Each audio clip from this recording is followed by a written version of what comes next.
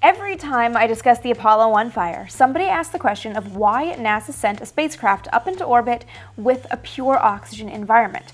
We know there are three things you need to make a fire heat, oxygen, and fuel. So why give ample oxygen? Well, I'm going to walk you through the decision making process.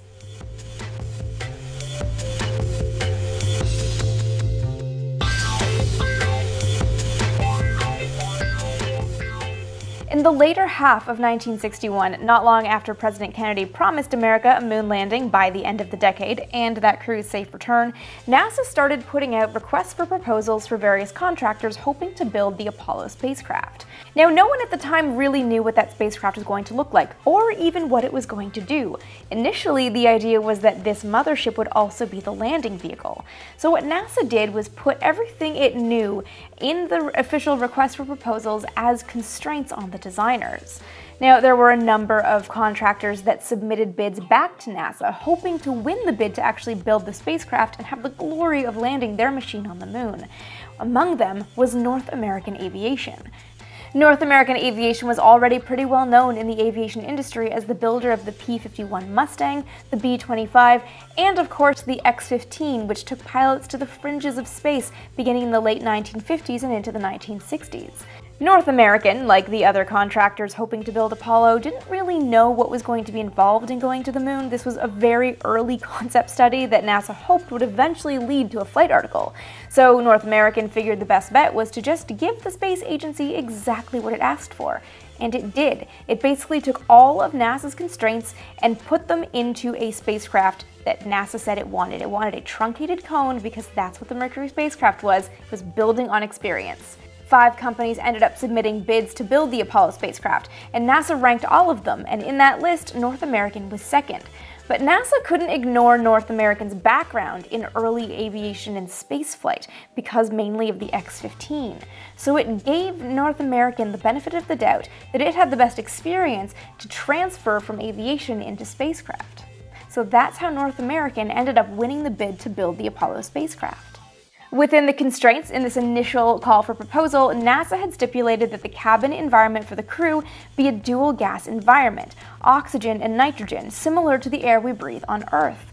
This was known to be good for humans and also not super flammable, so that's what North American gave NASA back, a dual gas environment. A year later, however, in November of 1962, NASA changed its mind. Weight was becoming the most precious commodity on Apollo, and shaving off pounds at the top of the stack was ideal. Playing the numbers game and looking to lose those last few stubborn pounds, NASA zeroed in on the crew cabin as a place to save weight. The space agency realized that the dual gas environment was very heavy. Not only did you need two different kinds of tanks to hold the two gases, the hardware and plumbing to feed both of those gases into the crew cabin added more hardware and therefore more weight. Not to mention, it was a very difficult system for North American to develop. So you can't just open up the tanks and have the environment being flushed with oxygen and nitrogen. You need to keep it in the certain right balance. The air we breathe on Earth is about 78% nitrogen and 21% oxygen. The rest is trace gases.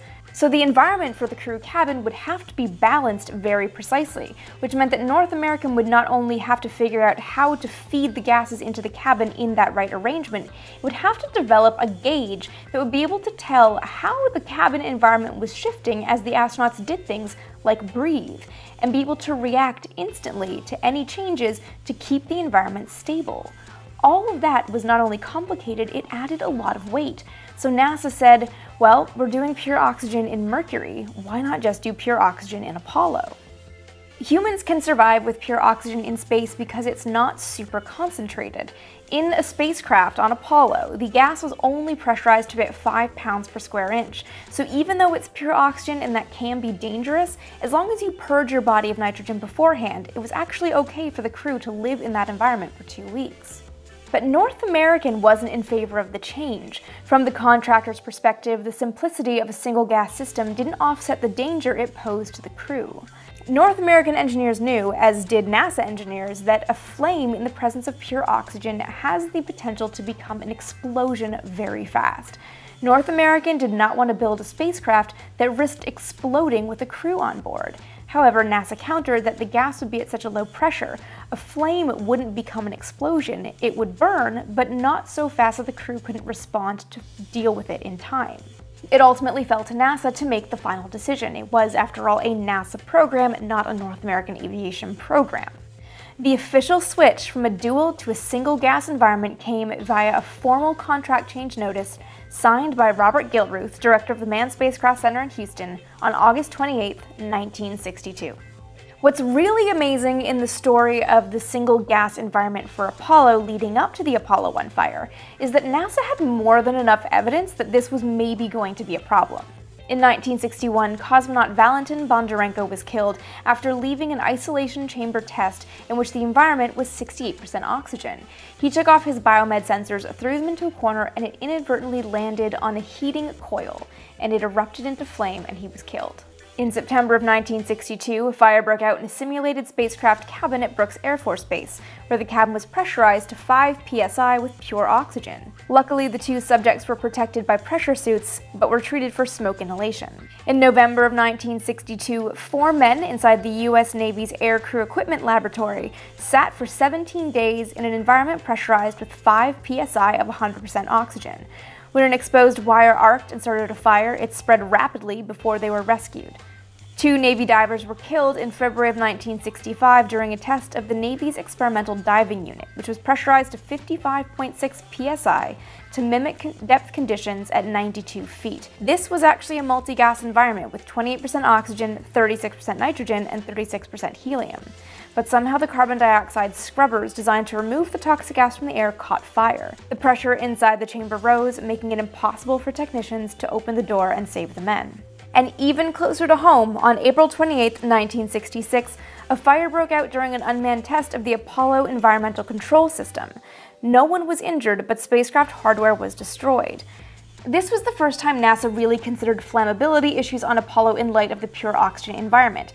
However, because the heater involved in this incident was a commercial heater and not something that would be going to the moon, no one really paid much attention. It wasn't likely that this would be repeated in space. However, NASA did look at the flammable material inside the spacecraft, but only the Block 2, the version of the Apollo spacecraft that could support a lunar mission because this one alone could dock with a lunar module. NASA decided to go through the entire cabin and make sure nothing flammable was too close to anything that could be an ignition point. However, that was only for the Block 2. Apollo 1 was an Earth orbital mission without a lunar module, and one of the only missions designed to fly a Block 1 spacecraft. The flammability survey that fixed the Block 2 issues did not fix the Block 1 issues. NASA didn't change the cabin environment after the Apollo 1 fire, but it did change the environment at launch. The real problem with the Apollo 1 fire was that the oxygen was under pressure, to mimic the pressure differential of a spacecraft going to the moon at 5 psi against the vacuum of space, the spacecraft on the launch pad had to be pressurized to about 16.8 psi. It was that amount of oxygen under that high pressure that was really the problem.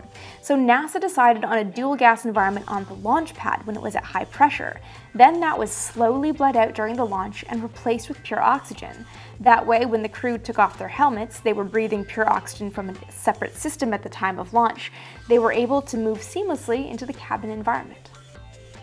I hope that answers your questions about why NASA knowingly sent Apollo to the moon with a pure oxygen environment.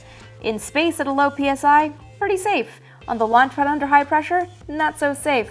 If you have other things you'd like to know about the Apollo era, any questions about flight, space, all of those things in that time, leave me all of your questions and comments in the comment section below. And if this is your first time visiting Vintage Space, welcome and please consider subscribing so you never miss an episode. And of course, if you guys would like daily space content, be sure to follow me all across the social medias. Alright, thank you guys so much for watching.